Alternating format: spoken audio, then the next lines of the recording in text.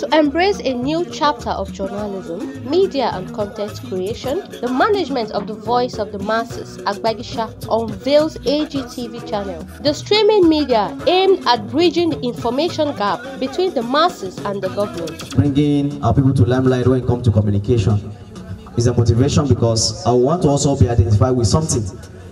Now, when somebody is talking, say, "This is all. This is the only person that I know doing this or that." At the unveiling, the general manager, Mr. Jethro Ilya, says. Gloves and singlets, nine be one, two of us.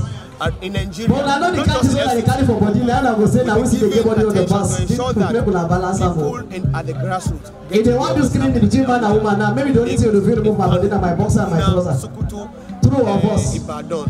Only my boxer and my trouser go my bride. True of us. Woman they go see up to five items. that of us. Give a voice to everybody. Tell mama the Guyana. Especially those Ask Google. The unveiling event doubled as the launching ceremony of the channel. The family brother. It's not today we know each other. In fact, even when I was a council The guests, family, friends, and well wishers shared their thoughts about the channel and the general manager does.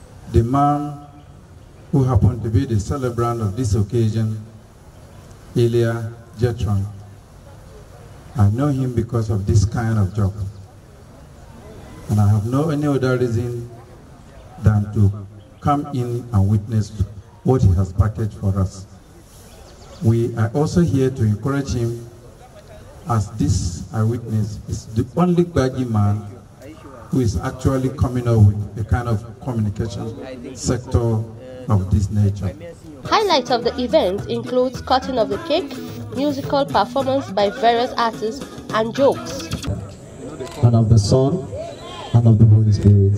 Congratulations.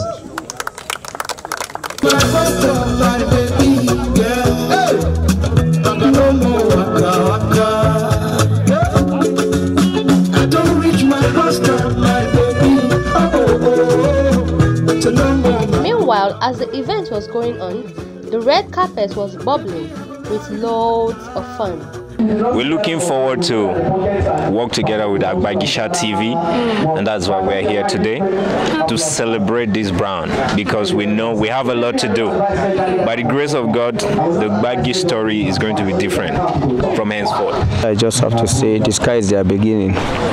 Yeah, we get there and we're already there, Passion. a very good development that we are having an indigenous focused television which will give us perspectives of our host. When I say our host, I'm talking about those that form the uh, uh, original inhabitants of the Federal Capital Territory that we have become a party to. Agbagyisha TV, I want to I want to see him globally, not just in Nigeria. I want to see it all over the world, not just in Nigeria. And I'm encouraged. I want to tell him that the sky is just a limit. Is just a stepping stone for him.